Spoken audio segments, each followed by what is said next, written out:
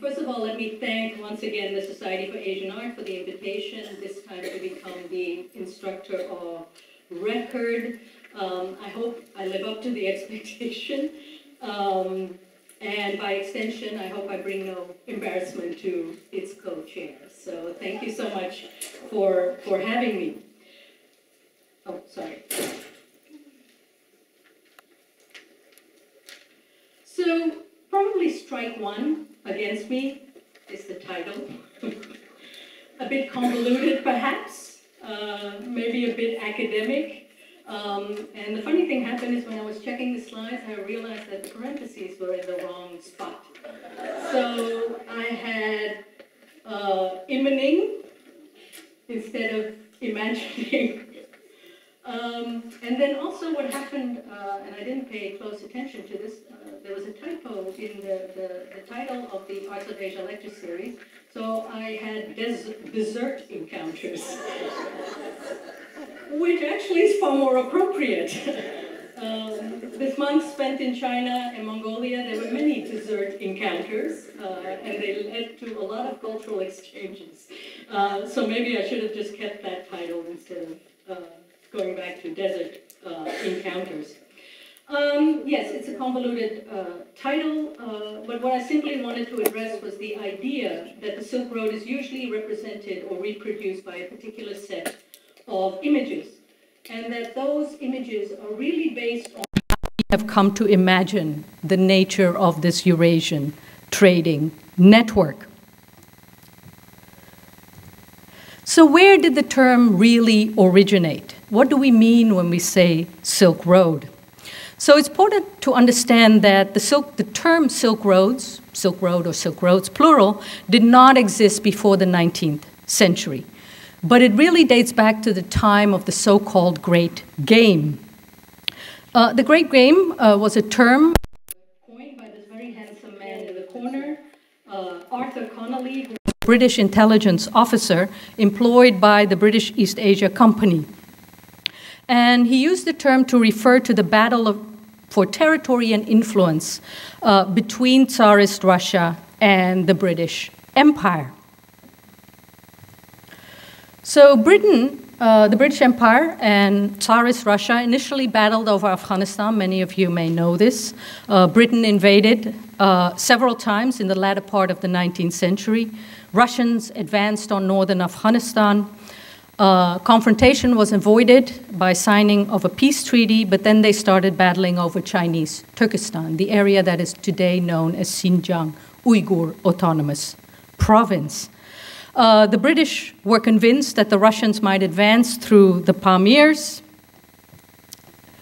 And in the latter part of the 19th century, surveyors were sent um, into uh, this area to check out the passes. It was only resolved in about 1895, uh, but there was a lot of spying going on uh, in this area, and each, uh, the, the Russians as well as the British, had consulates in Western China. So Central Asia was really, for a long time, wedged between this Russian bear and the British lion. Now, colonial control of Central Asia brought the development of Oriental studies uh, in Europe. And this was supported by the work of a lot of scholars Russian, French, German, British, uh, who, went to, who went and worked in Asia. And it was in this context, really, that the term Silk Roads was invented.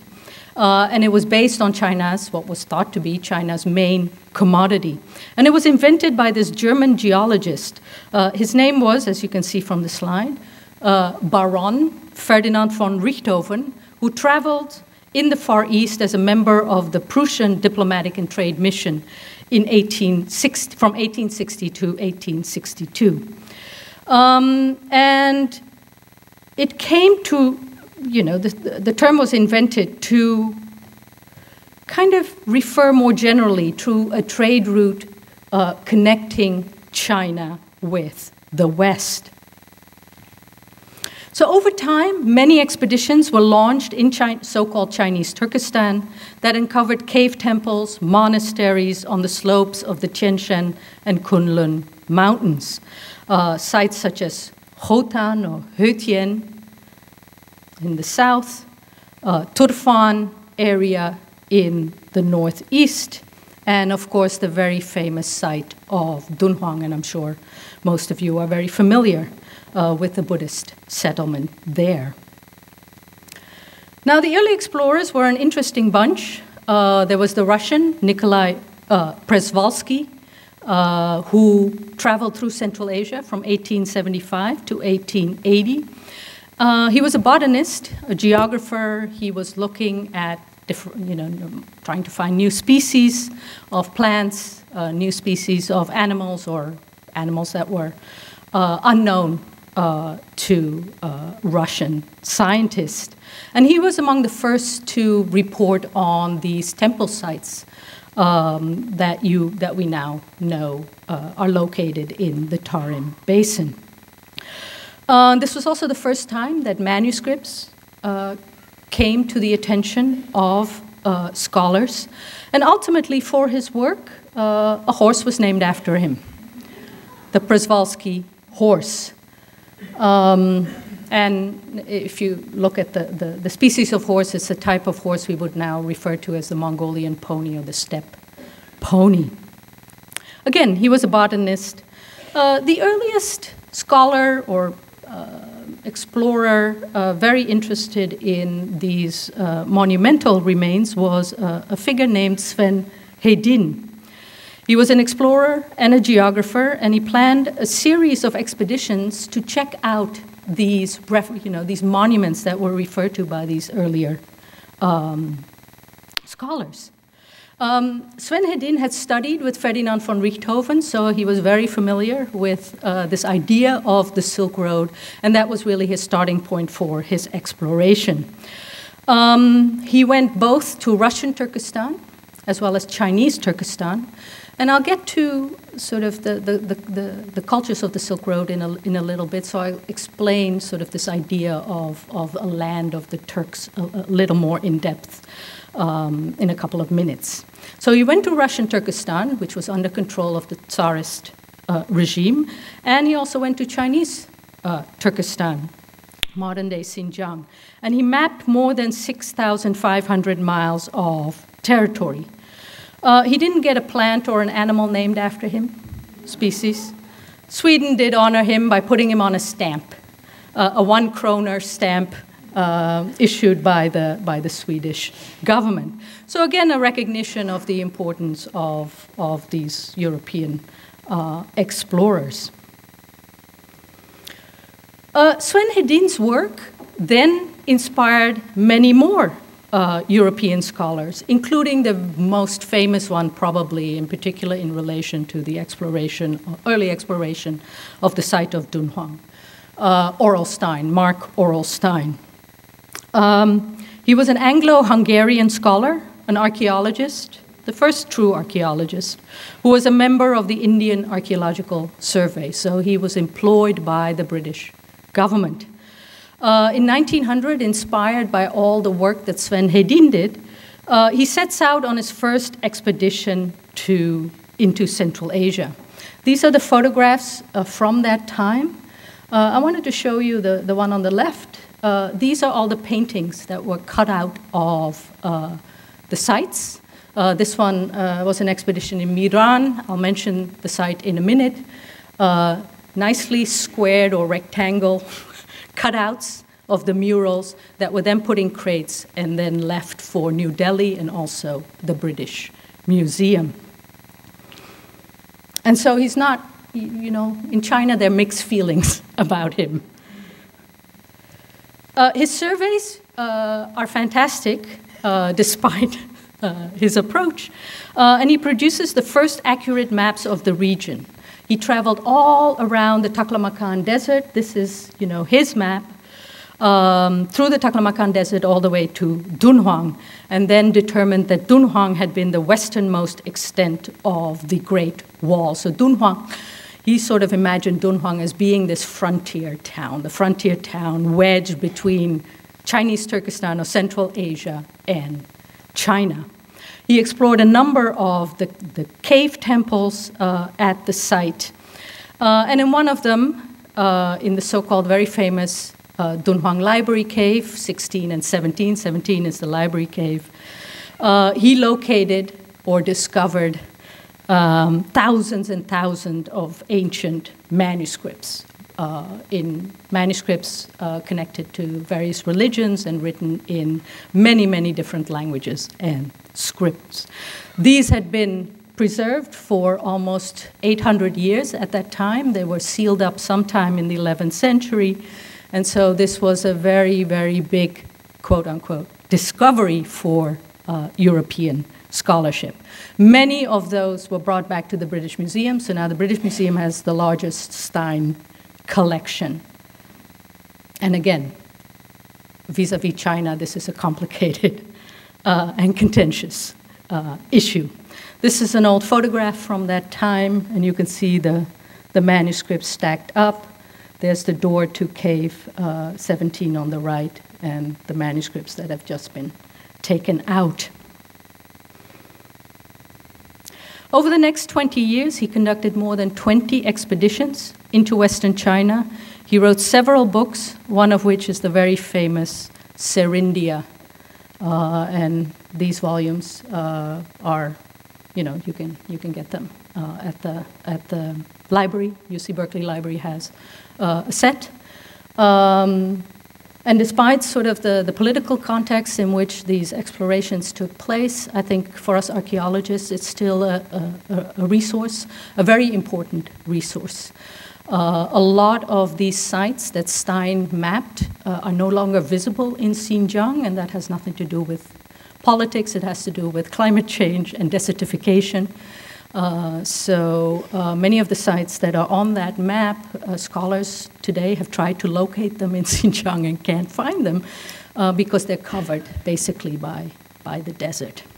So still a, a, very important source for scholarship on Central Asia and the Silk Roads. We can go on and on about all the other scholars that worked in, in Western China and, and Russian Turkestan, uh, very famous ones are the sinologist Paul Pelliot. Um, he explored a number of sites uh, in the Taklamakan Desert area, including Dunhuang. Uh, he too uh, grabbed some of the manuscripts from Dunhuang and took them to Paris. So they're in the National Library or the Bibliothèque Nationale in, in Paris. Uh, Germans worked uh, in Chinese Turkestan as well. Albert von Le Coq, Albert Grunwedel, uh, excavated sites such as, uh, or explored sites such as Kucha, uh, with the very famous Buddhist monastery of Kyzyl. Uh, Monika Zin, in a couple of weeks, she'll be talking about Kucha and, and Kyzyl.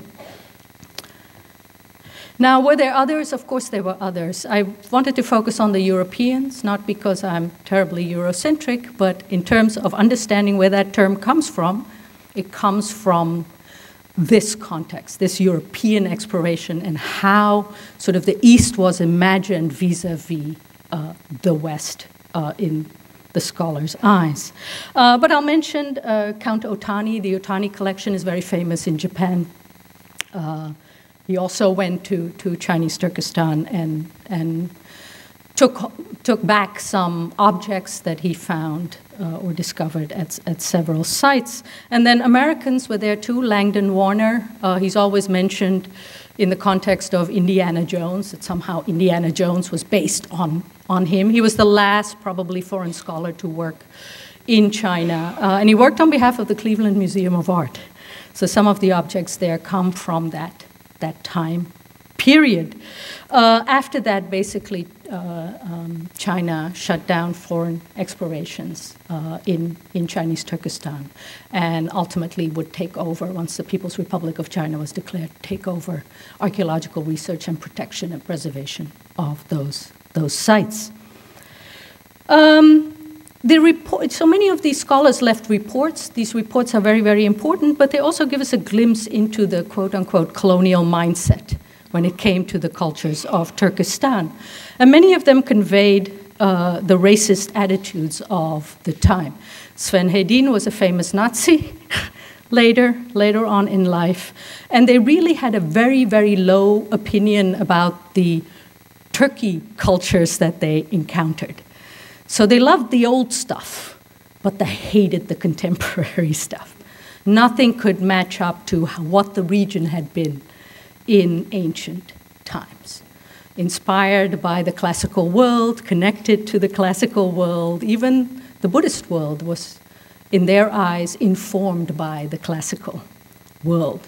So when, and, and these reports are full of these sort of contemporary encounters, and he, you know, Stein in particular, does not look uh, favorably upon uh, the local population, and in particular is very disdainful of the Islamic uh, religion that he encounters.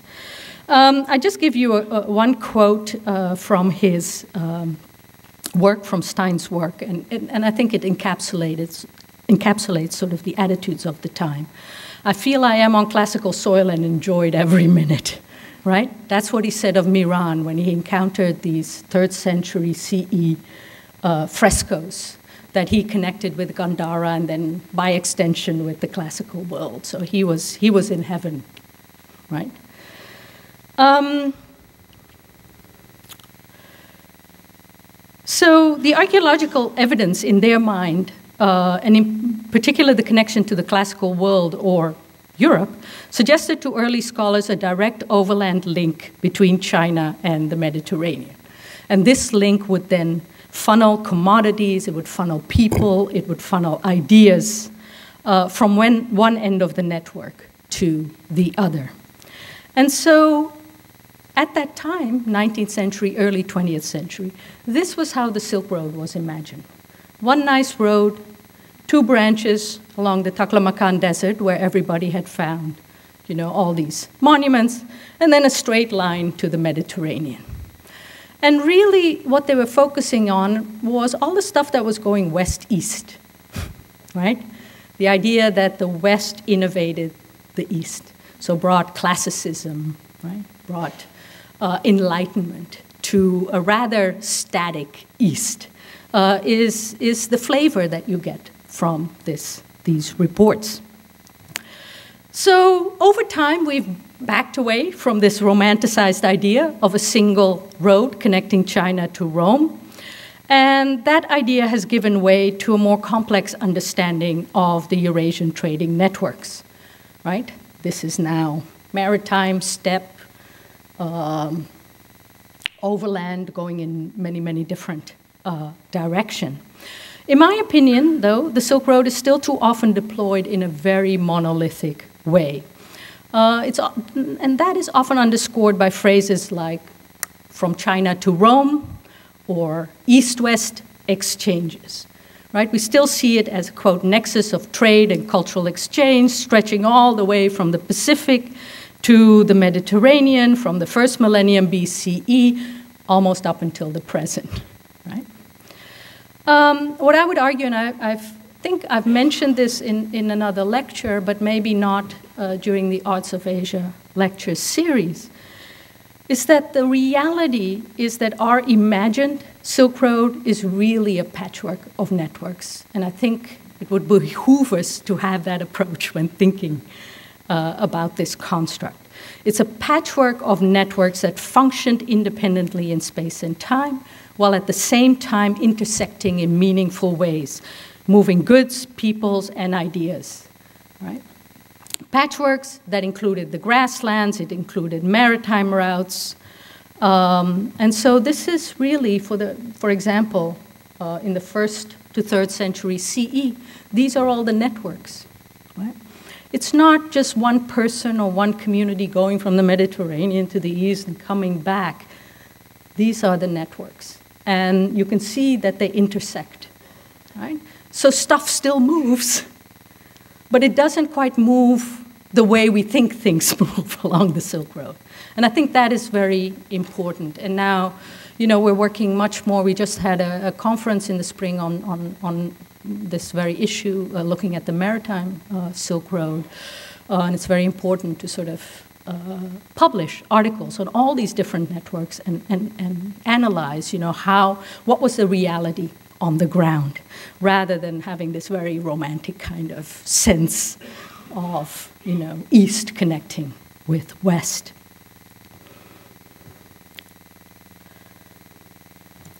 Now, at the heart uh, of the so called Silk Roads, the imagined Silk Roads, lies a particular network that for a long time uh, was dominated by merchants from Central Asia. Let's call it the Central Asian Network. And this is the network really um, that is the focus, or that I imagined to be the focus of this fall's lecture series. Um, where and what is Central Asia? Uh, it's no longer a black hole. It was decades ago. Remember when the Soviet Union fell and all of a sudden everybody was like, what now? What is this? Uh, who? You know, I remember early lectures, people were, you know, no, it was really sort of the periphery of the Soviet Union, a periphery of China, and nobody really paid much attention to it. Um, so even though it's not a black hole anymore, it's still a somewhat unknown area, I think, in Asia, and not very often covered in the Arts of Asia lecture series or any other uh, series on Asian art. Uh, the focus tends to be on China, Korea, Japan, India, the so-called, you know, I would say great civilizations paradigm. Uh, and Central Asia, this region gets neglected quite a bit. Uh, so this fall is really trying to put Central Asia on the map. And uh, what I wanted to do today is put Central Asia in a context that will permit you, I hope, to comprehend more easily the dynamics of those desert encounters that are mentioned in the title. So let's talk about Central Asia, uh, and hopefully I don't take too long talking about Central Asia. Um, it's, it's also a, a constructed term. Uh, there are many different terms that, that are used that deal with roughly the same area. So some people use Inner Asia, other people use Central Eurasia. Um, it's a term also coined in the 19th century. Um, Europe, uh, but which has developed with no clear physical distinction. So, for example, uh, and this is not to bore you, I think maps are very interesting and, and kind of uh, often define how we see and how we imagine certain areas. So, for example, if you go to old Russian sources, Middle Asia is used for the western part, Central Asia is used for the eastern part. You go to the French sources, l'Asie centrale, it's just the other way around. L'Asie centrale is the western part, and Upper Asia or Haute Asie uh, is used for the eastern part. So nobody has a clear definition of what Central Asia is. Um, to further illustrate this, I just give you a map. This is from Wikipedia. And it gives you all the different configurations of Central Asia, or how, dif in different ways, Central Asia is imagined. So the official Soviet definition, I don't, the, the darkest part, are the four Central Asian stans. And you want to go, well, why not Kazakhstan? There are five Central Asian stans that were created during the Soviet Union. Well, because in so the Soviet Union thought Kazakhstan was the near abroad. It was part of Russia. And so they didn't want to define uh, Kazakhstan as part of Central Asia. It also was the richest, it had the best ores, the mining, and the largest population of Russians living in Central Asia. The common modern definition, so if you use Central Asia at Berkeley, for example, uh, it will be in the context of political science. And then it's the five former Soviet republics of, uh, of uh, Central Asia. But if you, like I do, look at culture as not defined by modern political boundaries, then you have to have a much broader idea of what this re region entails. So, in that sense, it would be more in line with the UNESCO definition.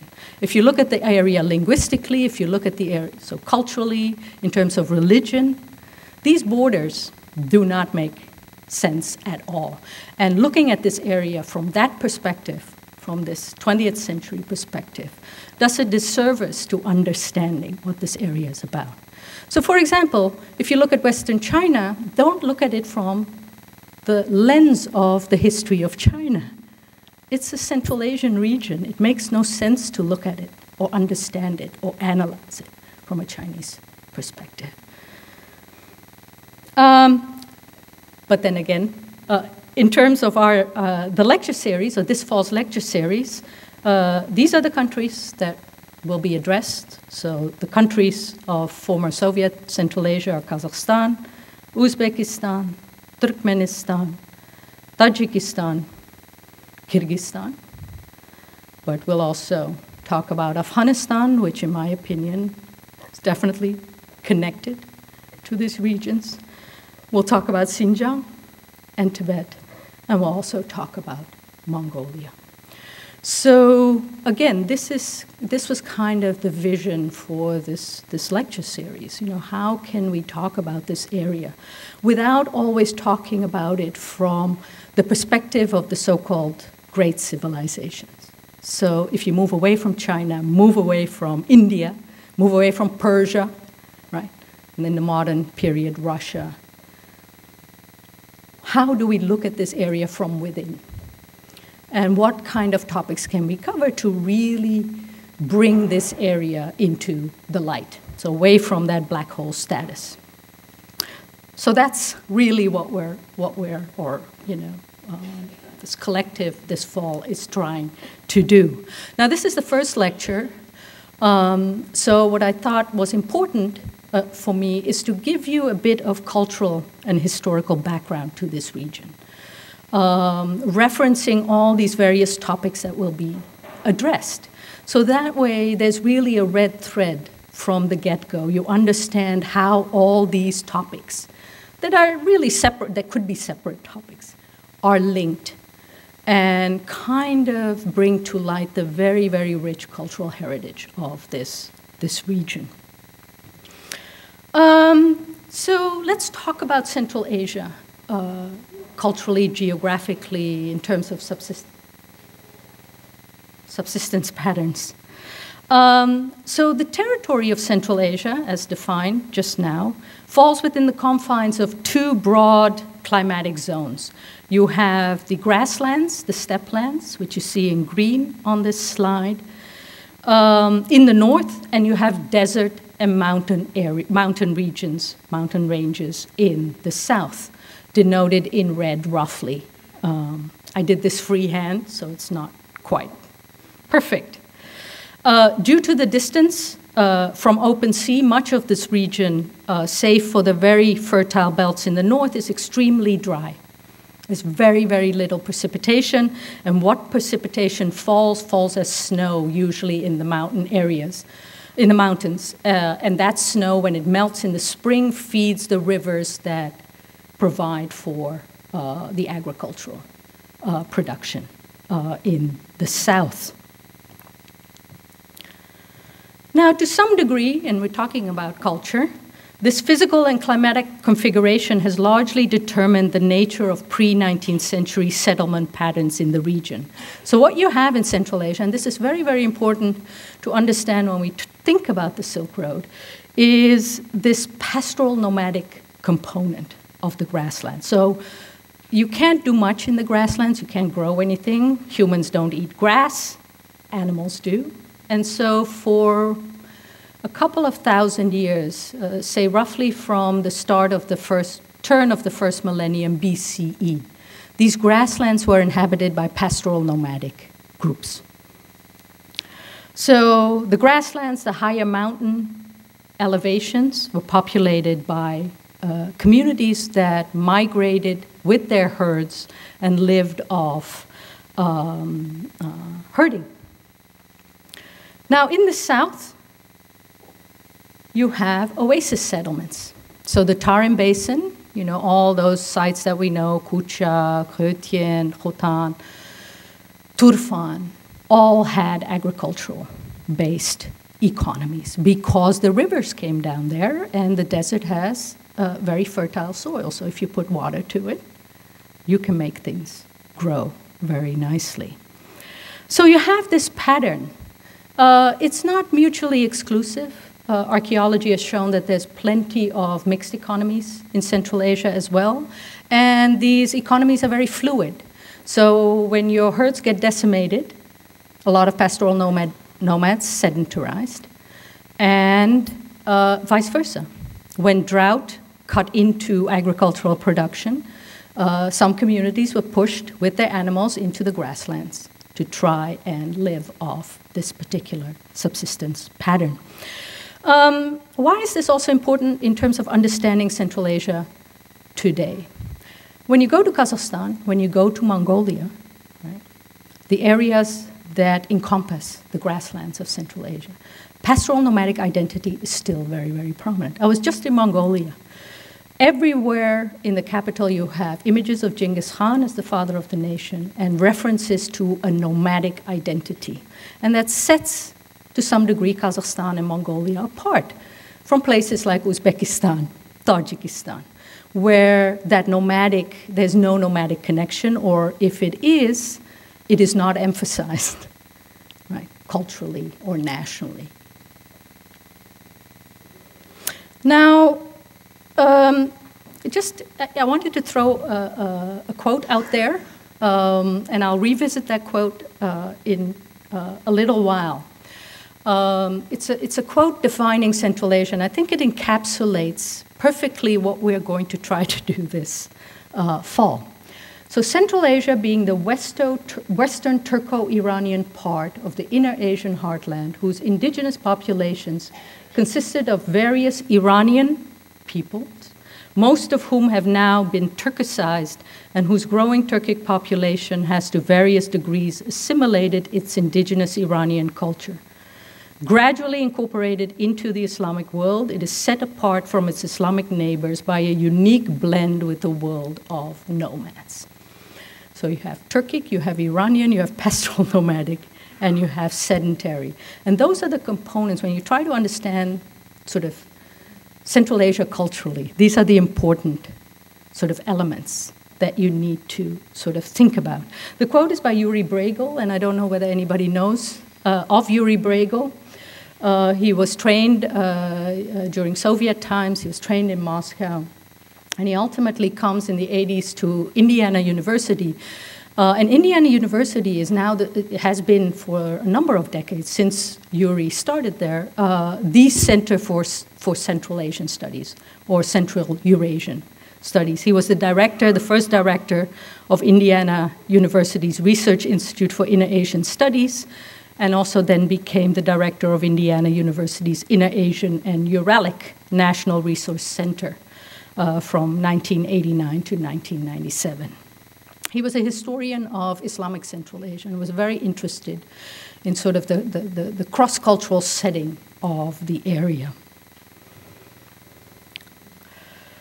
All right, so um, I, I'll take about 10 minutes to, to start talking about uh, you know, how to look at Central Asia culturally. Because you're going to get, uh, you, you, you will hear a lot of terminology this fall.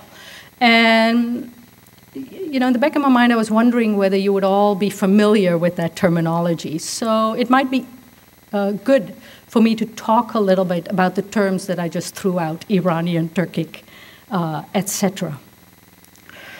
Um, So, one of the problems uh, studying Central Asia uh, as a particular region within Asia or Eurasia is that it's probably the most diverse, linguistically, culturally. Uh, to be a true Central Asianist like Yuri Bregel, I would say, you would really have to speak multiple languages, modern languages, and you'd also have to know quite a few ancient languages. And these include languages that we normally don't study, right? Uh, in the kind of area studies paradigm. In China, you study Chi- Chinese, but you can't really look at Western China unless you know Uyghur. Right? Um, you'd study Russian, sort of in, you know, looking at the Soviet Union, but you won't understand Kazakhstan Uzbekistan, Tajikistan, unless you know these Turkic languages.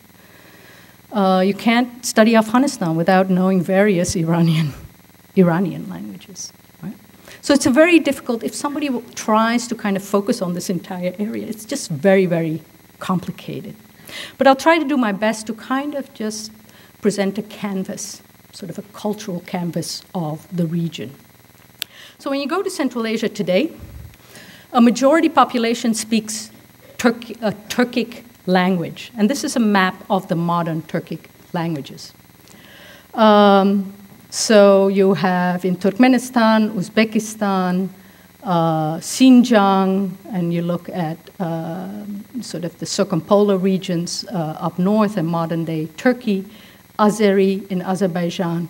These are all part of the Turkic language family. Right? Um, so, Uyghur, for example, uh, we tend to think of Uyghurs as kind of part of China, and there's this border, right? So, if you do research on, on the Uyghurs, you kind of focus, you, you take that perspective. Well, Uyghur and Uzbek are almost identical, or very, very close. That border makes no sense culturally. Um, so they're Turkic languages. And then you have Iranian languages. So when you look at Afghanistan, you have Pashtun, of course, the national Dari. And you look at uh, Baluchistan, you have Baluchi, all part of Iranian language family. Um, there's a part, uh, a, uh, uh, a, point in, in western China, in Xinjiang Uyghur pro province, that's called the Tajik Autonomous Region. It's a very tiny area where inhabited by Tajik communities who still speak the Tajik languages. And they're very much connected, linguistically at least, to the Tajiks, right, that were incorporated into uh, the Soviet Union and Russia. So today, majority Turkic, with a few areas where you have Iranian languages. In the past, it was the other way around. Who knew that the dominant languages historically in Central Asia were Iranian? Uh, denoted in green here. So the earliest settlements in Central Asia were Iranian, uh, Bactrian. You all know Bactrian, right? Uh, Sogdian, but also in China, Khotanese. In the oasis state of Houtian or Khotan, that's an Iranian language. So I'll give you a couple of examples. In Dunhuang, you can find a Chinese Khotanese phrase book. It's the lonely travel guide of ancient times. So, for example, you can learn to say things like, Where are you going? How do you, do you know Chinese? Could I buy vegetables? And Khotanese, and, and this is where I didn't want to talk about alphabets because that just complicates matters even more. Khotanese is written in Brahmi script. It's an Indic script. So unlike Sogdian, so they're related languages, they're written in different scripts because they were connected in different ways culturally. So there was an input this from India, into the southern Silk Road areas. And in Sogdiana, there was much more a connection to the larger Iranian and Near Eastern world. So, majority Iranian languages in Central Asia, uh, except for, of course, Mongolia and, and Tibet. Tibet is Sino Tibetan language, and Mongolia actually is part of the Turkic language family tree, but linguists often consider it somewhat separate. So, what happened to all of these Iranian languages? Why are they now all of a sudden the minority languages in, in Central Asia? What was that history? Well, it was the expansion of the Turkic communities. So, starting 4th, 5th century CE, really, from the Altai region, so on the edge of the Mongolian plateau, the Mongolian Altai, you have the movement out of Turkic speakers. And basically, these, the slow expansion of these Turkic speaking communities pressured the Iranian communities in Central Asia. some were pressured to migrate themselves, and some were absorbed by these new Turkic, you know, new Turkic configurations. So over time, this is what the, the quote by Yuri Bregel, right? You, you get Turkification of Central Asia. You get the expansion of the Turkic language, so that now most of the languages spoken in this area are Turkic. And I give you a very nice example from the 9th to 13th century. This is an old Turkic uh, manuscripts that was, was, discovered in, in Turfan, uh, in Xinjiang, uh, and it's written in uh, Uyghur script. So, just to give you a table in case you want to write things down. So, the languages of the Tarim Basin in the first millennium CE so you have the branches of the Indo European languages, so Indo Iranian branch. There's some Gandhari manuscripts in the Tarim Basin, but no speakers of Gandhari. These are manuscripts that came with the expansion of Buddhism. And then you have Iranian, you have Bactrian, you have Sogdian, you have Khotanese. You also have a European branch called Tocharian in the area of Kucha, and I think Monika Zin will talk about that. And then later you have the expansion of the Turkic languages, in particular Uyghur. And then still later you start to see Chinese and Tibetan come into the uh, region.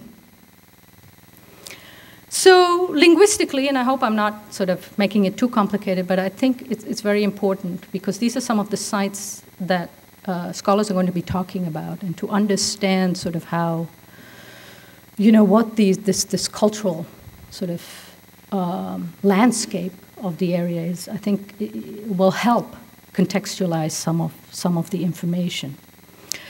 So moving, if you, if you just move away from language and think about religion in Central Asia, and this is a terrible map because it's a very monolithic map, right? There's no variation in that map. It just takes, you know, majority religions in one area and gives it a color. Uh, but it's instructive in terms of understanding Central Asia. Most of Central Asia, outside of Mongolia and Tibet, is Muslim today. So, Afghanistan, the five former Soviet republics, Xinjiang province, uh, majority populations are Muslim. And I know that today, when you look at the demographics of China, somebody will say, but there are just as many Han Chinese in Xinjiang as there are Uyghurs. That's a very recent phenomenon. Historically, it was 85 to 95% Turkic speaking and Muslim, so Turco Islamic. Historically, it's much more diverse. So, Central Asia, for example, is the homeland of Zoroastrianism. That is, if you include Afghanistan in your definition.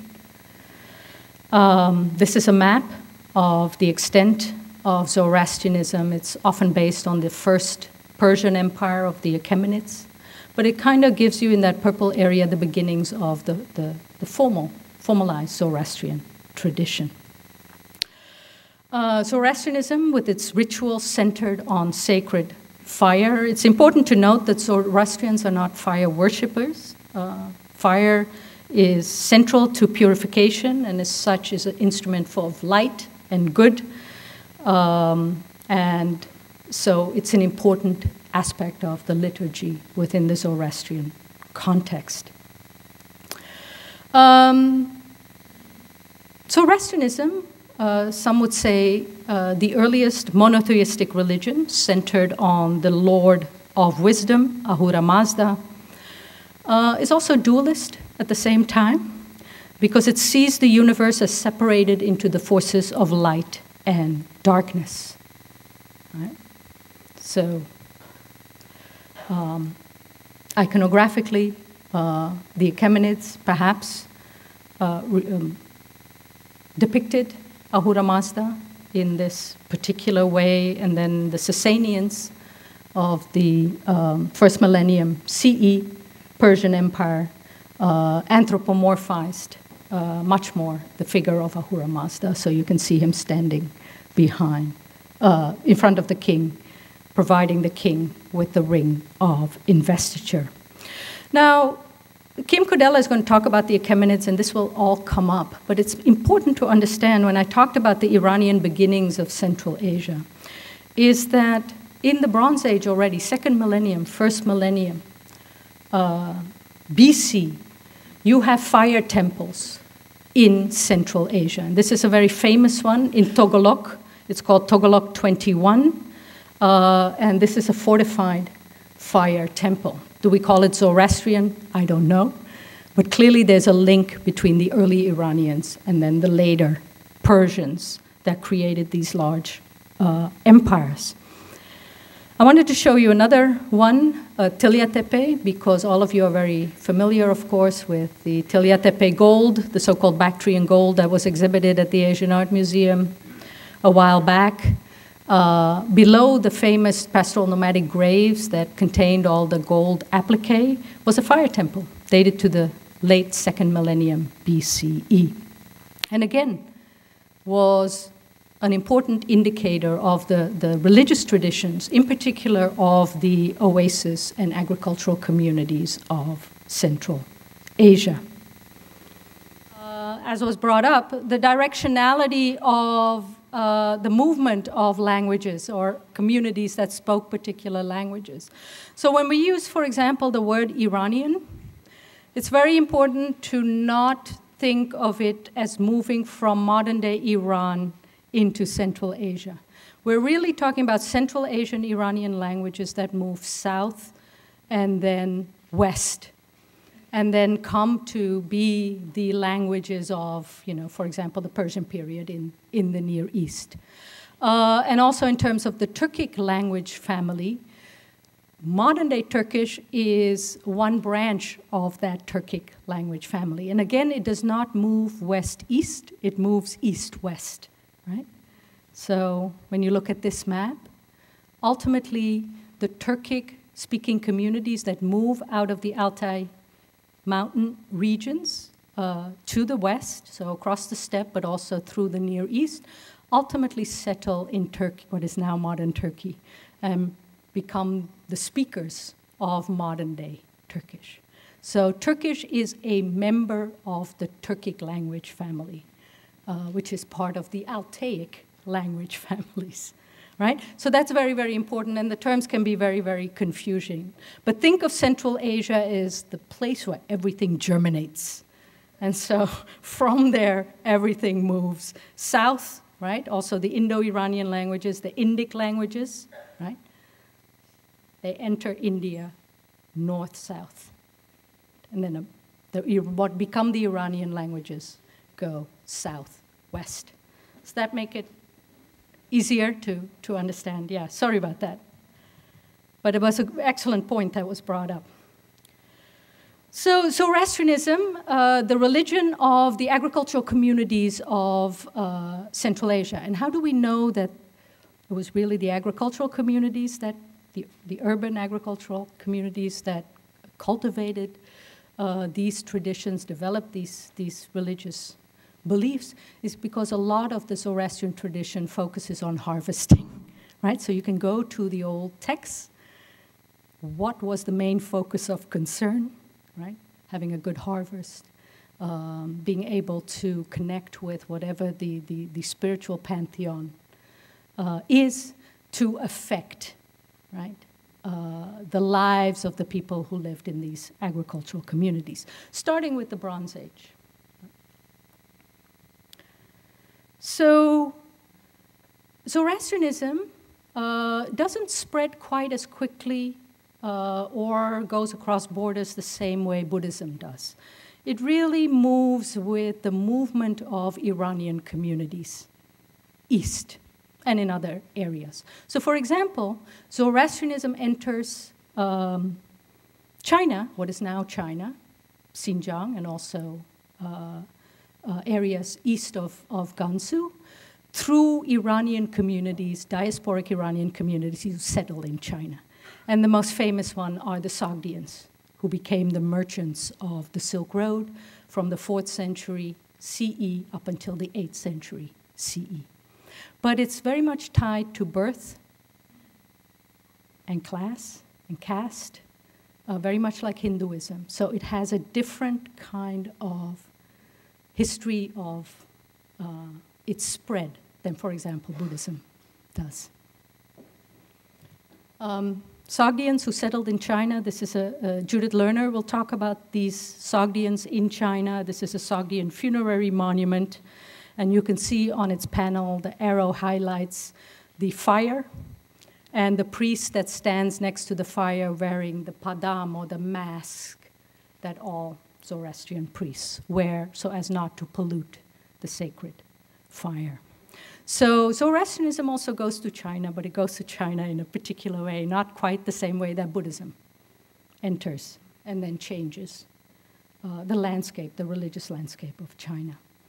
So we have the Iranian communities uh, of the river valleys, but we also have Iranian pastoral nomads of Central Asia, uh, as well as Turkic pastoral nomads. So outside of the river valleys, what kind of religious beliefs did Central Asians have. Uh, what we now think is that most would have probably uh, practiced some form of shamanism. And shamanism is this idea that the visible world is permeated by invisible forces. And it's very important to mediate between the invisible forces and the community to kind of change the, the direction of life. Um, you know, have an impact on, on the health of your herds or the health of the, the community. And the best people to do that were these learned uh, individuals who were referred to, we refer to as, as shamans. So shamanism is different than animism, although it's very close, this idea of spirit, the spirit world, or believing that, that everything has a, has a, encapsulates a kind of spiritual entity. Shamanism is when, you, when it's, a, it's that kind of animism centered on a particular figure called the shaman. So, shaman comes from the Tungusian word, uh, saman, which just means a person of secret knowledge. Right? He's or she, because they could be both male and female, is important in terms of, again, mediating between those forces that impact uh, life uh, of the community. That's an Altaic shaman. This was taken in the early 20th century uh, photograph. Uh, and shamanism probably was still quite prevalent until the 19th century, and it's really the advent of the modern state, which impacted pastoral nomadism in general, also impacted sort of the belief systems of the pastoral nomads. Um, we can go back thousands of years uh, to the first millennium BCE. We have this archaeological uh, remains of pastoral nomadic groups uh, of that time period. This is a very famous burial called the Ukok Pazyryk burial dating to the 4th century BCE. And it contained a female, the body of a female, what most people believe is a female shaman. She had a very tall headdress. It's very typical of the shamanic uh, tradition. So that, you know, through the archaeological records, because pastoral nomads are very difficult to trace archaeologically, because they don't have houses, right? How do you trace a migratory community? Uh, and the best we can do is look at burials, right? That's the only sort of physical evidence that we have of that time period. Um, so uh, many scholars believe she was a shaman. She had an important position. She was decked, her clothes were decked out in gold, applique, very important position within society. She had tattoos, uh, animal style tattoos, which was very typical of that first millennium period. Uh, and that too may sort of connect with the shamanic tradition because in shamanism, the most potent invisible forces were thought to have zoomorphic qualities. And in particular, where multiple animals were fused into one, like a, a, a mountain goat was fused with a feline or an eagle. Uh, and so this may have been one of her, the, the insignia of her, of her position. So shamanism uh, goes back really to when pastoral nomadism develops around the turn of the second millennium BCE. But it is very current in a lot of the steppe areas uh, today. So, for example, in Mongolia, uh, even though Buddhism is very popular and, and, very important in Buddhism, you still have uh, references to shamanic traditions of the Mongols, right? Either through the ovoos, which are these stone cairns that are built on sites that are, that are seen as particularly powerful or where spirit resides. And this is a statue of a Mongolian shaman beating a drum. Um, they're modern shamans uh, in Mongolia too. They are now, scholarship refers to them as neo shamans, uh, sort of post socialist shamans. When, uh, you know, which happened a lot in Central Asia, when Central Asia was trying to reinvent itself post communism, post socialism. Uh, whether it was in the former uh, you know, five Soviet republics or Mongolia, which was a parallel Soviet uh, you know, socialist or communist state. Uh, this idea of, of who are we? What is our national identity? Who are we? You know, what did the Soviets try to erase about us? Right? So the, the pastoral nomadic component is one, Genghis Khan. That's why you see statues of Genghis Khan everywhere. And then this idea of, you know, we were linked through these, these kind of belief systems as, as well. So there's a place in Mongolia today, even though it's a modern country and the capital is booming and it's urban and it's full of KFC and all of that. Um, there's still sort of this idea that, that somehow what links mo- modern Mongolians or Kazakhs to their past is this pastoral nomadic uh, identity. And I think, you know, uh, shamanism also, we tend to think of belief systems as mutually exclusive. So we tend to think of Islamic, uh, pre-Islamic and Islamic, somehow as if they're two different. Uh, there's a dichotomy there, right? Well, it's not. Islam just becomes, in this example, another layer that is blended on top of, you know, already existing layers. So I'll give you a good example of that. So there's an ovoo in Mongolia, which is shamanic. Sometimes it's dressed up with a torana or a Buddhist torana. So it's a kind of blending of shamanic and Buddhism in Mongolia. And that's a Sufi shrine, that's an Islamic shrine. People do exactly the same thing at both shrines. They circumambulate and put prayer flags. They just have a separate identity, but it's exactly the same. Physic, you know, phys- the physicality of the place is very, very similar. Uh, so, anyway, so shamanism uh, among pastoral nomads and then Zoroastrianism, uh, very, very important among the, the agricultural and in particular Iranian communities of, uh, early Iranian communities of Central Asia. I don't really have to talk about Buddhism in this introductory lecture. There'll be plenty of people. Monika Zin will talk about Buddhism in, in, um, in Kucha uh, and, and Kizil, of course, Osmund, your well beloved Osmund Bopearachchi will talk about the links between Gandhara and um, sites in, in Western uh, China. Uh, but I do want to mention it because it is different. Buddhism crosses boundaries much faster than the religions I've mentioned uh, earlier. Um, and it moves, you know, via trade uh, and the uh, adoption by the political elites from its place of origin, uh, India, into Central Asia, and then on to China. What's interesting about this map is that it denotes the, the movement of, of Buddhism alongside mercantile routes, which brings us back to the Silk Road. There's a very clear connection. If you map Buddhism and map trade, that's the same map, basically. It's the same chronology. So we know as merchants expanded, in particular Central Asian merchants, expanded their activities, right? In particular vis-a-vis China, because they were uh, conducting trade overland uh, with, with China. You see Buddhism moving alongside it um, and becoming very, very popular along the Central Asian uh, Silk Roads. Now, it's very important, again, uh, in, in terms of maps, to understand that Buddhism too is, uh, there's, there's no linear progression. So this map would probably have you go from India into Western Central Asia, into the Tarim Basin, and then on to China. And then everywhere Buddhism moves, it kind of puts down roots until it gets to China. Uh-uh, it went to China first.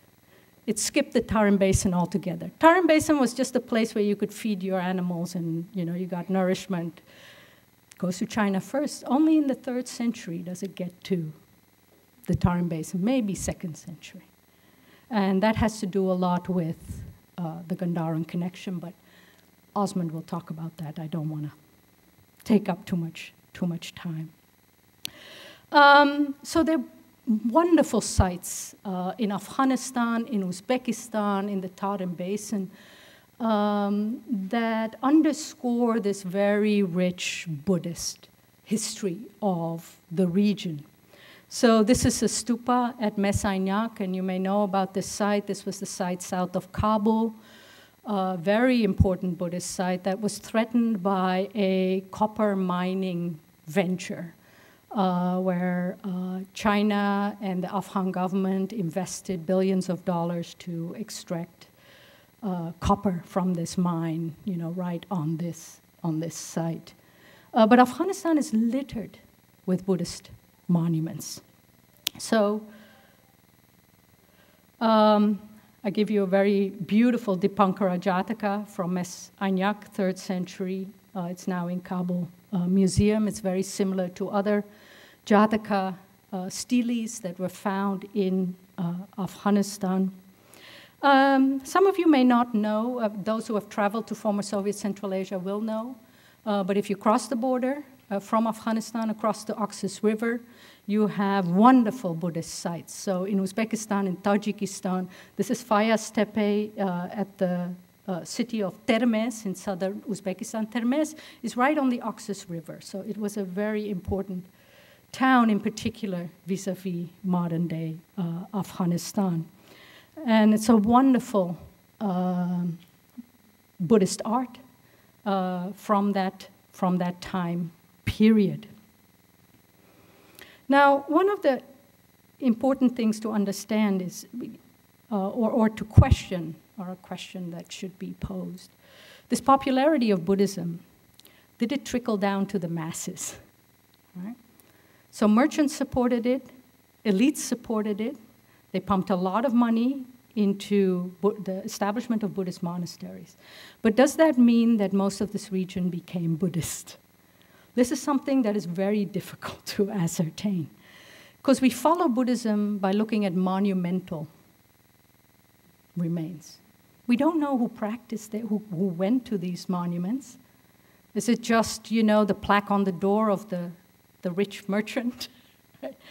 um, or did most of the population, in particular the Iranian population, remain Zoroastrian or Mazdaic, and this was just kind of an overlay? Buddhism of the hearth, I think, is going to be a very important area of focus. You know, in urban centers where people lived, can you find traces of their religious beliefs? Um, so that's a question that we ask ourselves. Uh, but uh, plenty of evidence uh, that many, in particular, uh, the upper echelons of society supported Buddhism for at least a thousand years. And then, if you cross the Pamirs into Western China, you have the beautiful cave temple sites. This is Kizil. Again, uh, Monika Zin will talk about this, 4th to 8th century cave site uh, along the northern Taklamakan route with beautiful, beautiful paintings. Uh, I know we tend to focus a lot on Dunhuang, and I think we do because it, it somehow, Dunhuang is seen as much more part of China or the western end of, of China proper, if you will. And Kizil is much more Indo Iranian and slightly away, you know, slightly in this desert region. So, what I'm hoping, you know, by inviting Monika to come, she's the expert on, on Kizil, uh, has an enormous database of paintings uh, beautiful paintings, and this blue is lapis lazuli, came from Afghanistan, was made into pigments, and used quite heavily at, at Kizil. Uh, and it's quite a dynamic uh, site. And then Dunhuang, of course, uh, for a thousand years from the 4th to the 14th century, uh, one of the largest Buddhist settlements and monasteries of the uh, Silk Road. And again, Buddhism uh, was very successful in transplanting itself across borders. And that had to do, I think, because it wasn't tied to birth, it wasn't tied to caste. Uh, you could take refuge in the Buddha quite readily and quite easily. You could even transplant it onto another identity, it didn't matter. Um, so it moves quite rapidly, uh, in particular when it's supported by the mercantile and political elites. Now, I wanted to also talk about other religions, uh, or have somebody talk about other religions because uh, they're the, the experts uh, this fall.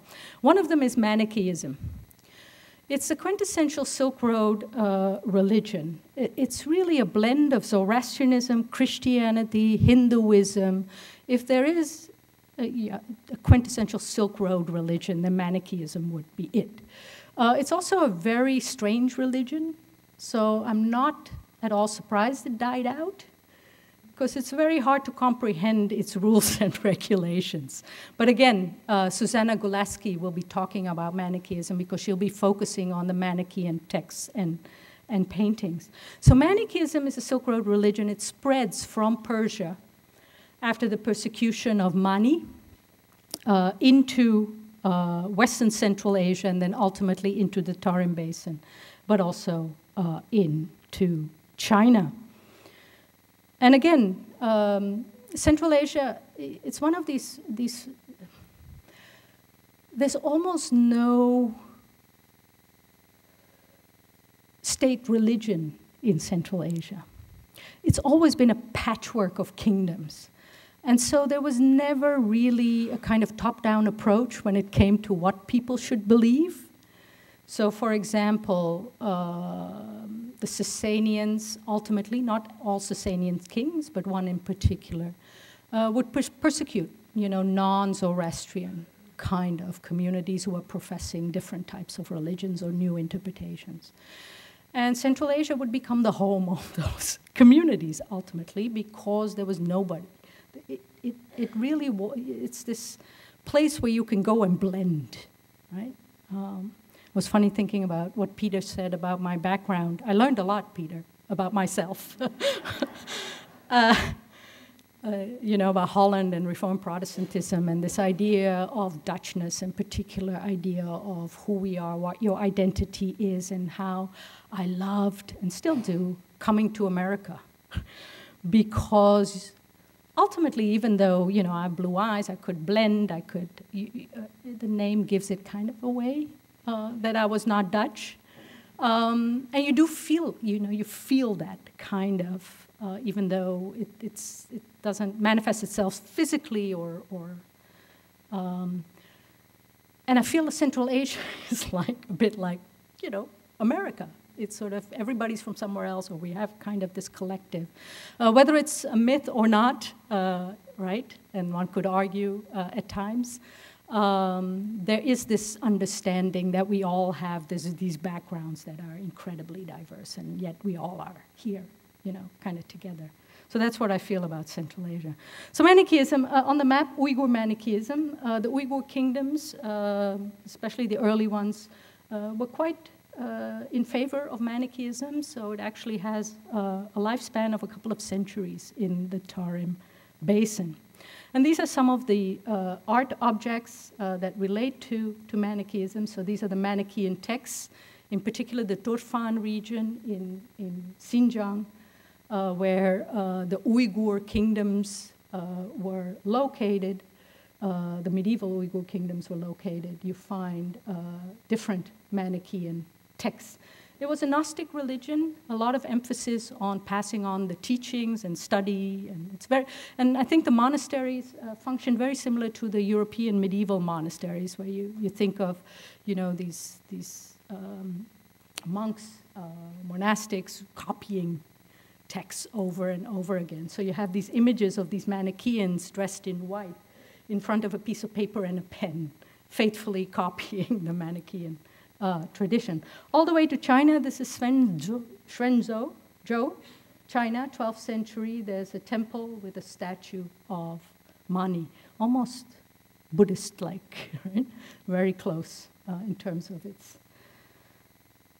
Um, another uh, leaf of a Manichaean text that, that Monika Zin will talk about, but I wanted to show you the flip side of this one. So it's 8th, 9th century, also from Turfan. What do you see in the middle?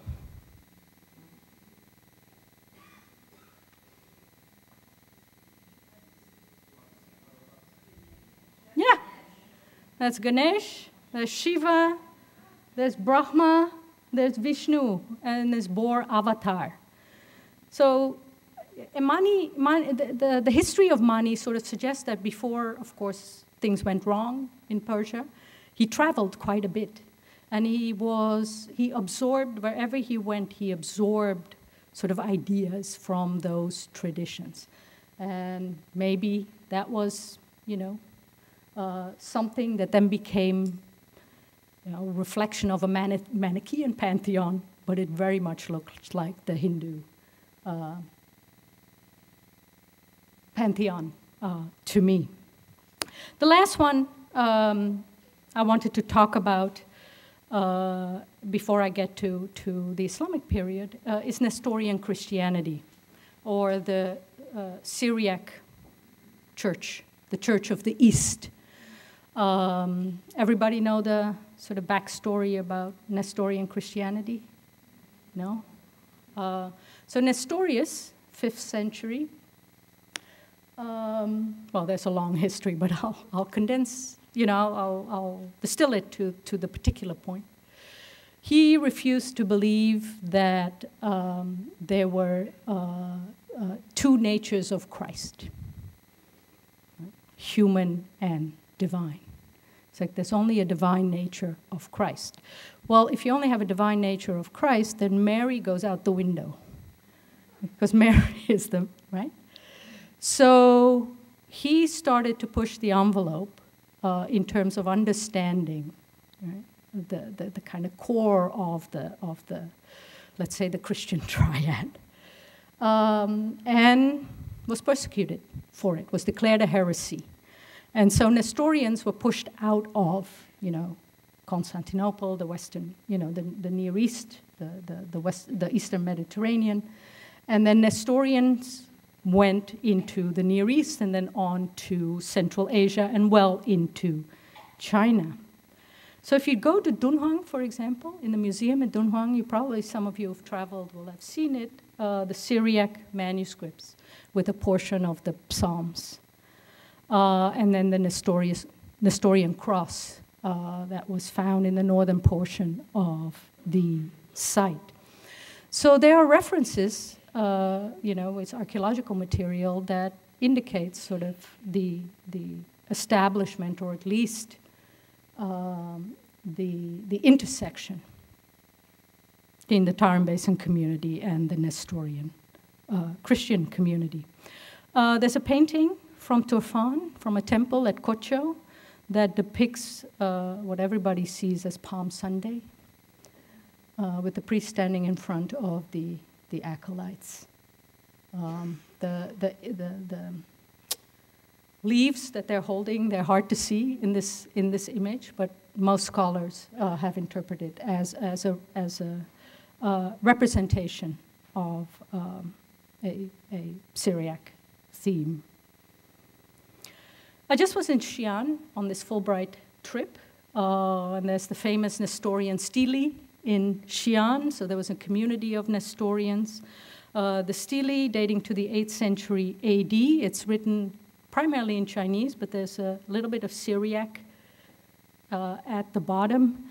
Uh, talks about the history of the, the Nestorian community as it enters into uh, China.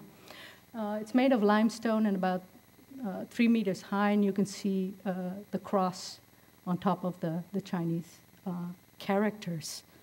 Uh, and this is the whole stele, and then you have the Syriac on uh, the left. So Zoroastrian tradition, shamanic traditions, you have Buddhism, you have Manichaeism, you have Nestorian Christianity. And as I mentioned early on, when you look at the cultural landscape of Central Asia today, predominantly Muslim. So ultimately, you have the expansion of uh, the Islamic tradition. And initially, it comes with political expansion after the, you know, the Prophet uh, under the Umayyads and ultimately the Abbasids. Uh, you get Arab dynasties that are expanding their power from the Arabian Peninsula into Central Asia. So here again, the Pamirs are a kind of barrier um, to consider, and this is why physical, you know, understanding physical geography is important. Um, in Western Central Asia, by the 8th century, Islam starts to become well established and starts to slowly overtake the Buddhist uh, tradition. So over time, and we like to, to invent terms, so there was Turkification with the changing of the languages, and we call this process Islamicization, right? Where you get the slow expansion of the Islamic uh, tradition. Now, it's important to understand that even though you have a very the, the early sort of military conquest uh, of Central Asia, is that most of the diffusion of Islam uh, was gradual uh, and through various pathways. There was, of course, the conversion of the political local political elites that then want to link themselves with, you know, the powerful dynasties of the Near East, uh, the trickle down effect of that uh, but also a lot of mercantile activity. So Islam is very much like Buddhism. Um, if, you, if you really sort of start to focus on sort of the way that they traveled, it really follows Buddhism quite uh, effectively. And sort of as if it builds on that network and then, you know, moves. Um. The other reason why I say trade is when you map if you go to China, and I know I'm not talking about China a lot because I'm trying to focus on Central Asia, but if you look at uh, the earliest Muslim communities in China, uh, in particular the coastal areas, you'll see them in the port cities. So Guangzhou, the earliest Muslim communities, and they settled as traders. So the Chinese Muslims of today, Hui Muslims in China, not the Uyghur, the Hui Muslims, see themselves as descendants of those Arab and later Persian traders that settled in uh, the port cities of China and then intermarried and established the Muslim uh, communities. So again, I think you know a lot of history has sort of looked at Islam as you know in, in the context of the sword, quote unquote. Uh, what we find is really that this is a gradual sort of uh, transition. That doesn't mean that you know uh, when uh, dynasties take over territory that there's no um, military campaigns and no violence. But in terms of the popularity, it's very similar to Buddhism, Buddhist popularity over time. And just to give you some examples, and um, Nile Green uh, actually will talk a lot about Afghanistan. Uh, I think it's the last lecture. Uh, and he will talk about Buddhism in the context of Islamic uh, Afghanistan. So that should be a very wonderful uh, lecture. Uh, Bukhara, Uzbekistan. So, and then Western China, and this is very interesting. A slightly different trajectory because you have the Pamir Mountains, so there's no Arab conquest east of the Pamirs. Uh, so, what happens in what is now Xinjiang is that in the 10th century, one of the local rulers called Satuk Bugra Khan you can see his name at the bottom. He converts to Islam. And this is the initial phase of Islam transplanting Buddhism in the Tarim Basin. And slowly from Kashgar, which is at the western end of what is now Xinjiang, Islam moves to the east, ultimately Islamicizing the Uyghur, taking over. You know, the Uyghurs who are Manichaean, then Buddhist, now they are Islamic as as well. Oh.